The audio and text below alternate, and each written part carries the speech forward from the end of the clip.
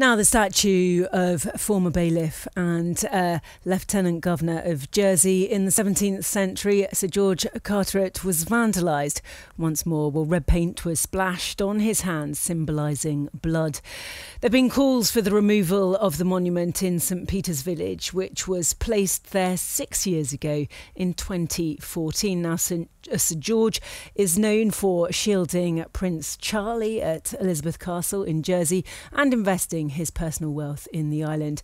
But he also had links to the slave trade.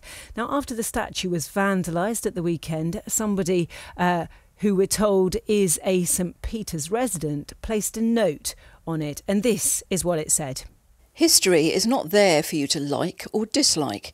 It is there for you to consider and learn from. And if it offends you, even better, because you will be less likely to repeat it. It is not yours to erase. It belongs to us all. So, what exactly is the history and how can we learn from it then? Well, Kit Ashton is a PhD student in Jersey history and culture and joins us now. Uh, Kit, welcome along. Listen, uh, uh get, just talk us through then uh, how Sir George was uh, involved in the slave trade. So, well, it's, it's worth saying, yeah, that it's it's important that we, we know this history, and of course, that history hasn't been told. So that's the ironic thing about that sign. So um, yes, so he after his time as bailiff of Jersey, which um, went really rather badly, he was hated by Jersey people. That's important to know. He was a dictator, a violent dictator of Jersey. Um, after that time, he uh, he, he uh, when the royalist cause was re-established, uh, he used that influence uh, and the favours that, that he then garnered from Charles II uh, to uh, to work his way up the ladder, basically, in, in the Navy, uh, became an MP, um, and uh, he was involved with various companies, the Hudson Bay Company, the fur traders, uh, merchants, um, but uh, what became eventually the Royal Africa Company was the main one, which established really for the first time a monopoly on the slave trade for, for, for England. Um, so they transported over 200,000 slaves in, in, in total before they got wound up.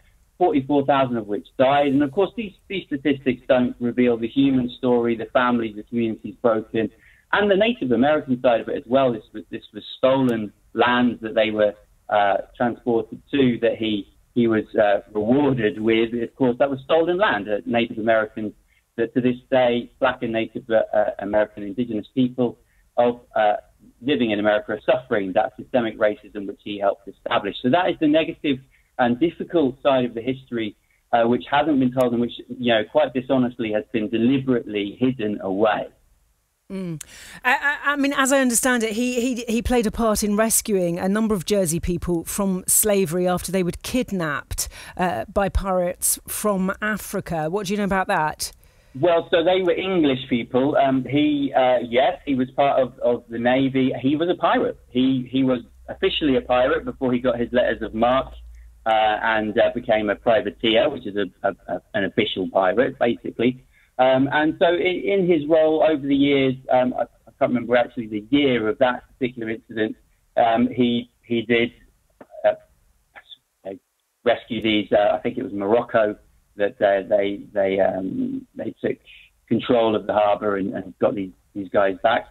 Uh, but how ironic that that is mentioned in in the in the propaganda in the mythology, really that has uh, been pushed out that's uh, positioned him as a hero, and nothing of the, the terrible tragedy of the uh, appalling violence and, and the legacy of that violence uh, well, I think I, I, mean, Kit, that that's I mean that is just part of uh, uh, uh, uh of the sort of uh, movement of time, isn't it? Because I mean that could be said about any of, of the historical monuments that are across the, the United Kingdom. I mean, if you take 2016, I think the Cecil's, Cecil Rhodes Monument in Oxford, mm. there. I mean, mm. it was voted overwhelmingly to keep it up at that point. 4 years mm. later, it, the, the, the, the the move, the the place where we are socially and what is mm-hmm. acceptable socially has changed massively. And now the conversation about bringing it down uh, has taken place, and it seems to be overwhelmingly that that is wanting to be happen. So that, that it is all about the discourse in society, isn't it? About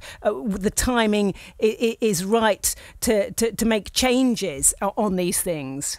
That well, that's that's right. Ironically, this statue was put up in 2014, and that's the damning thing that public money was used. And I think this is the really key point: is we should always bring this back to our black community and listen to our black community in Jersey who find this statue so offensive. You know, I, I, I was speaking to a black friend last night who, who told me that she feels so offended by the fact that her tax money has gone to this statue. She she made the analogy: it's, it's almost as if uh, a Jewish person has, has had their tax money used for a statue of Hitler. That's what she, a black member of our community said last night. Very strong words.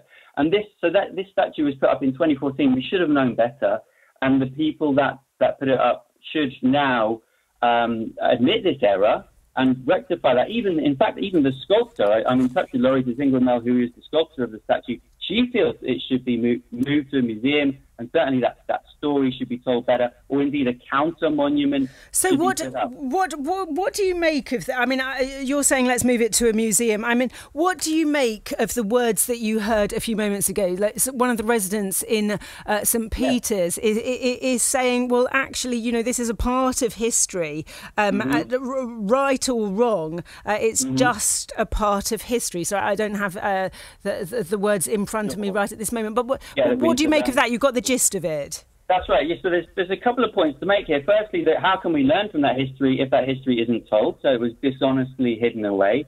And secondly, that a statue isn't just telling history. A statue is a veneration of someone. And this goes back to the open letter uh, that, I, that I wrote. If you Google, you can Google that, an open letter to the states on the slave trade, uh, Kit Ashton.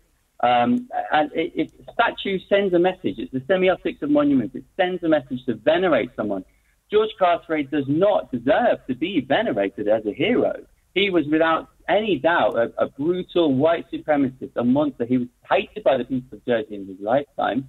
And then he manipulated a, a, a megalomaniac king who, who established himself as absolute monarch into giving him stolen land and, and he imported slaves into that land. We shouldn't be venerating this guy with a statue.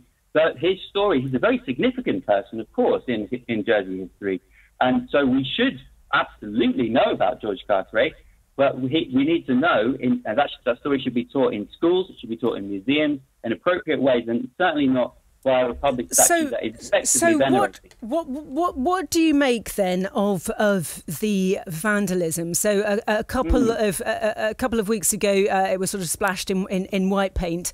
Uh, mm. Uh, now um, red paint uh, has happened over the weekend. So so what yeah. do you make of that aspect of it? Sure, that's a really good question. So this is uh, really, again, coming back to uh, sort of thinking about semiotics and how messages are sent. Um, and, as a student of history, of course, this is, this is a historical act. It's a political act. So akin to the, you know, uh, tipping its tea into Boston Harbor, establishing uh, the, uh, America, in fact, you know, an act of civil disobedience.